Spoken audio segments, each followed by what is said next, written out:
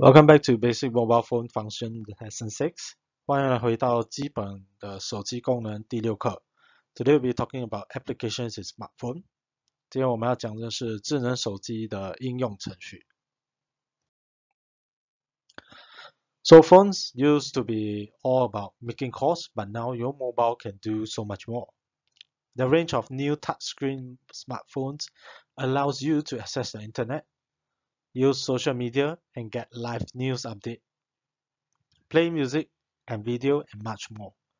以前呢，我们的手机呢只能拿来打电话，现在的手机呢智能化，可以用来浏览互联网、社交媒体、看新闻和看视频和很多其他的功能。So this three wave and a dot 这个呢，三个呃弯线还有一个点，is called the Wi-Fi，是我们的无线上网。So this function allows us to connect to the internet, surfing the web, downloading applications, all require an internet connection. 所以无线上网呢，能让我们呢连接到互联网。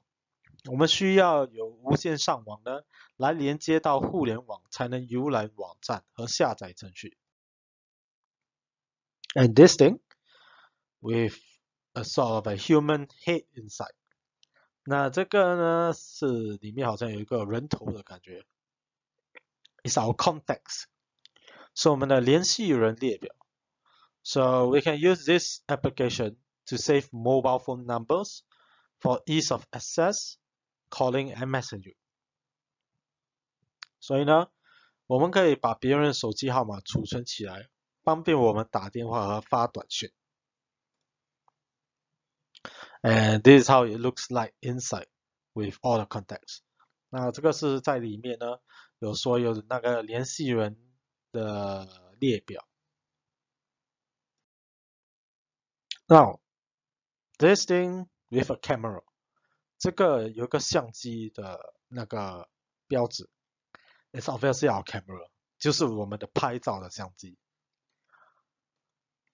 So we can use this application to take photos and videos。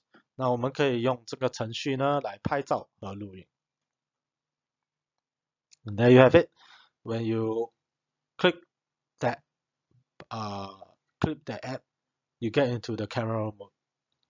那当你 按那个程序的时候进去的时候呢，你就是看到好像一个相机的功能。So this a box with a number inside，这个有个格子，还有一个号码在里面。Is our calendar，是我们的日历。So this application allows us to see the day, month, and year as well as holidays. We can also add our daily schedule inside. 所以我们可以用这个程序呢，来知道日期、月份、年份和公共假期。我们也可以加入各天的行程。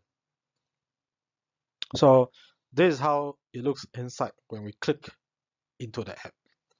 这个就是里面呢它的整体的呃呈现。当我们点进去那个程序。And then we have this plus minus times and divide. Yes, it's our calculator. 所以呢，有这个加减乘除的一个程序，它就是我们的计算机。So we can use this application to do basic mathematics and calculation. 我们可以用这个程序呢来做基本的计算。And yeah, this is how we look. It will look like when you click in. 这就是当你按进去的时候，它的样子。 And then we have this box with a cloud and a sun. 啊，我们有这个一个格，有一个云朵跟一个像是太阳的啊啊程序。It's our weather，我们的天气预报。So we can use this application to find out the current and future weather condition. 嗯，可以用这个程序呢来查看当天的天气状况和以后的天气预报。 And this how you look like when you click in。当你按进去的程序时候，这就是里面所会呈现的。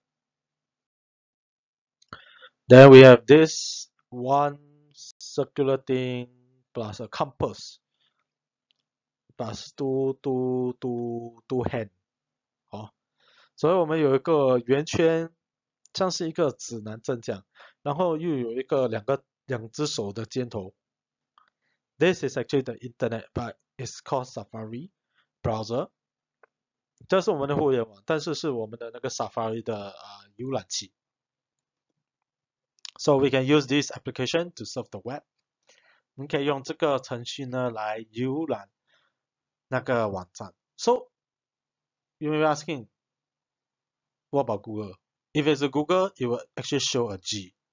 如果说我们的谷歌的话，它的应用程序会 有一个 G。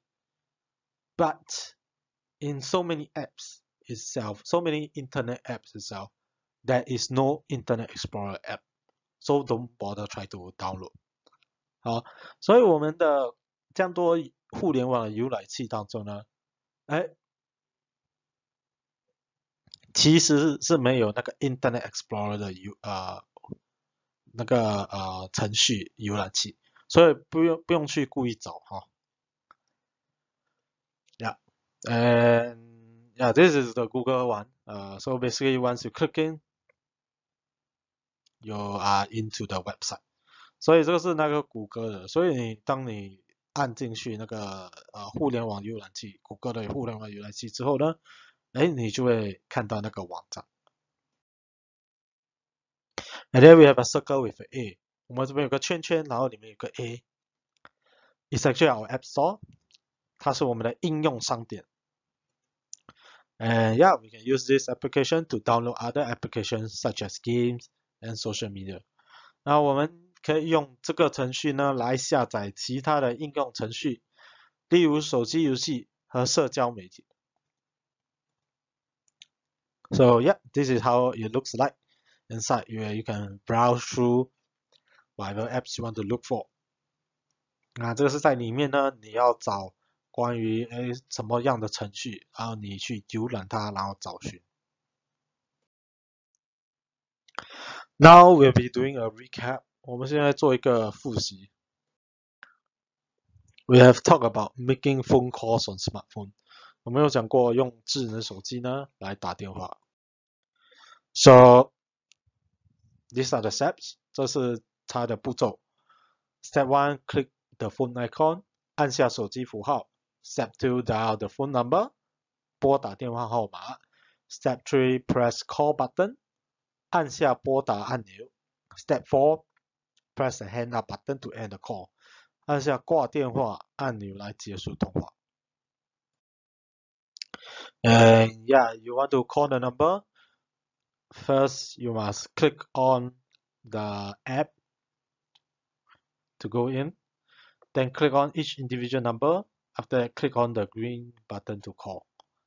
所以你要打那个电话呢，你就要进去那个青色的呃拨打电话的程序。然后呢，进到里面之后呢，按下不同的号码，之后呢，然后按那个青色的拨打键。要结束通话，按下红色的拨打键。You want to end the call? Press a red button. Text messaging on smartphone，用智能手机呢来发短信。So to send text messages to others, launch the text Message app first。首先，我们要开启发送短信的短信的程序，才可以发送短信。And it's circular in red，用红色圈圈画起来的地方。For WhatsApp, basically you will see a list of current conversations in the app, if any, organized by contact name or phone number。所以用 WhatsApp 的呢，你会看到连按联系人姓名或电话号码组织的当前对话列表，如果你有的话。Then if you see the name of the person you want to text in your phone, choose it from the list.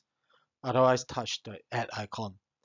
如果你在你的电话呢看到要发送文本的人的姓名，啊，就从那个电话的发送短信软体中呢。它的列表中呢选择歌名称，否则呢，请触摸添加图案图标，呃，那个加的加的那个那个呃标志。So the icon is actually the plus logo. Oh. You might see the new message or command compose message command instead of the add icon. 那你可能也会看到呢新建消息的命令，而不是添加的图案。If you are starting a new conversation, type a contact name or cell phone number. 如果你要开始新会话，请进入联系人姓名或手机号码。You can also add multiple recipients if you like. Just keep adding contacts or phone numbers. 那你也可以添加多个收件人，只需不断的添加联系人或电话号码。And then on the left, you have see you can see that you know the two area is the name and the number of people you want to add. And then in the box below, it's actually your message. That's for your phone. 所以在你的电话中呢，啊，你可以看到那个图的地方哦，它是那个人收信人的名字，还有你想加多少人都可以在那边加。然后下面那个空白格呢，就是你要发送的信息。And then WhatsApp on the right, uh, you see on the contact info the person's name. In red is what they have said. In purple is what you have said. Then below the white area, you can see your type your message over there. So that's where you type your message. And then there's the adding of location and adding of picture option. 所以在右边呢是我们的那个 WhatsApp 的简讯功能。那在上方呢，你会看到就是联系人的名，红色圈起来是他们说的讯息，紫色圈起来是你说的讯息。下面的白色空格呢是你打你的对简讯进去，然后你也可以加你的。呃位置的功能，还有加你的照片的功能。嗯 finally, uh, you touch the send icon to send a message. 最后，你呃触摸发送图标呢，以发送消息。So it can be in the triangle form logo or the send button.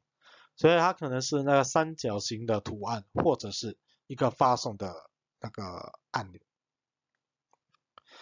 Okay, so we have come to the end of today's lesson, and we will see you in the next lesson. 所以我们已经来到这堂课的尾声，我们下一堂课见。